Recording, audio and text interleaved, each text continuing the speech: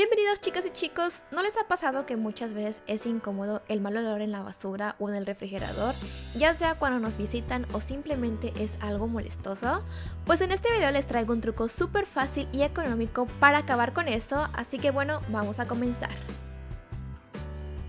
Lo único que vas a utilizar es bicarbonato de sodio. Vamos a agregar dos cucharadas dentro de nuestro bote de basura y listo. También puedes poner en un recipiente 4 a 6 cucharadas de bicarbonato de sodio y meterlas al refrigerador. El bicarbonato de sodio neutraliza los olores, acaba con los gérmenes y bacterias debido a sus propiedades antisépticas. Si este video te fue de ayuda, no olvides regalarme un me gusta, suscribirte si eres nuevo y nos vemos para la próxima, ¿ok? Adiós.